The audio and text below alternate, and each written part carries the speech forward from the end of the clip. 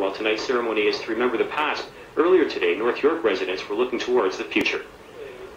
You big rabbit. Let's let's make it happen. Let's make it work. Let's make it go because it's gotta work. Mel Lastman says he can pull a rabbit and a subway out of a hat. Lastman announced his plan to save the Sheppard subway, a plan he says will save hundreds of millions of dollars and thousands of jobs. And I'm tired of fighting for the same line over and over and over again. How many times you have to fight the same fight? Lastman wants to bring in a metro-wide development charge of $1.65 a square foot to finance the line. The charge would apply to new commercial development. He says this would raise $291 million, reducing Metro's share of the cost of the line to $15 million. There would be no tax increase. But Lastman's Magic Act will face a tough crowd at Metro Council. Several councillors are worried the development charge will scare off business. Councillor Jack Layton is chair of Metro's Transportation Committee.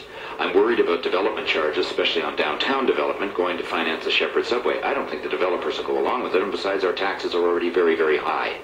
Other cost-saving measures include delaying the construction of the Don Mills Station Terminal and pursuing corporate sponsorships.